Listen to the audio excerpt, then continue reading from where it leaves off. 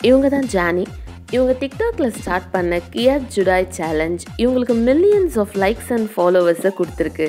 இது ஒரு dance work out இதுக்கே இவ்வளோ லைக்ஸ் அண்ட் ஃபாலோவர்ஸ்னு யோசிக்கிறீங்களா? இது ஒரு ஃபைவ் மினிட்ஸ் ஒர்க் அவுட் ஆனால் அப்டமன் ஏரியாவை டார்கெட் பண்ணுற மாதிரி ஒர்க் அவுட் கண்டிப்பாக வெயிட் லாஸ் கேரண்டின்னு சொல்கிறாங்க இன்னைக்கு வயிறு குறைக்கிறதுன்றது எல்லாருக்குமே மிகப்பெரிய சேலஞ்ச் அதனால தான் எல்லாரும் இவங்கள ஃபாலோ பண்ணுறாங்க ஆனால் எக்ஸ்பர்ட்ஸ் என்ன சொல்கிறாங்க அப்படின்னா இந்த ஒர்க் அவுட்டில் அப்நார்மல் ஸ்பைன் மூமெண்ட்ஸ் இருக்கிறதால பேக் பெயின் வர வாய்ப்பு இருக்குது பேக் பெயின் இருக்கிறவங்க கண்டிப்பாக பண்ணக்கூடாது. இந்த ஒர்க் அவுட்க்கு ஈக்குவலாக எந்த ஒரு சைடு எஃபெக்டும் இல்லாமல் நம்ம யோகா இருக்குது அதை பற்றி தான் இன்றைக்கி நம்ம பார்க்க போகிறோம் ரெண்டு யோகாசனம் இருக்குது அதோட பேர் மார்ஜரியாசனா பிட்டிலாசனா?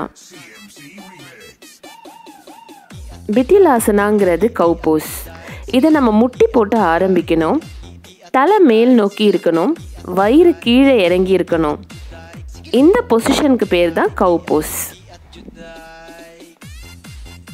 இதுக்கு அப்படியே ரிவர்ஸ் பண்ணுறது தான் மார்ஜரி ஆசனா. இதை கேட் போஸ்னு சொல்லுவாங்க இதில் வயிறை நல்லா உள்ளே இழுக்கணும். மூச்சையும் நல்லா இழுக்கணும். தலை கீழ் நோக்கி இருக்கணும்.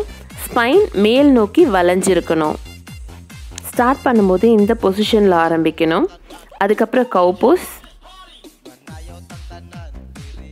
கேட் போஸ் இது ரெண்டையும் மாறி மாறி செய்துக்கிட்டே இருக்கணும். இதுதான் ஜிம்மில் வார்ம் அப் எக்ஸசைஸாக யூஸ் பண்ணுவாங்க. பட் நீங்கள் இதை தொடர்ந்து ஒரு ஃபைவ் டு டென் மினிட்ஸ் ஒரு ஒர்க் அவுட்டாக செய்தீங்கன்னா டிக்டாக் டான்ஸ் ஒர்க் அவுட்டில் என்ன பெனிஃபிட் கிடைச்சதோ அதே பலன் கிடைக்கும். ஸ்பைன் ப்ராப்ளம் பேக் ப்ராப்ளம் இந்த மாதிரி எந்த ஒரு சைடு எஃபெக்ட்ஸும் இல்லாமல் நீங்கள் உங்கள் அப்டமன் மசில்ஸ்க்கு ஒர்க் அவுட் கொடுக்கலாம்.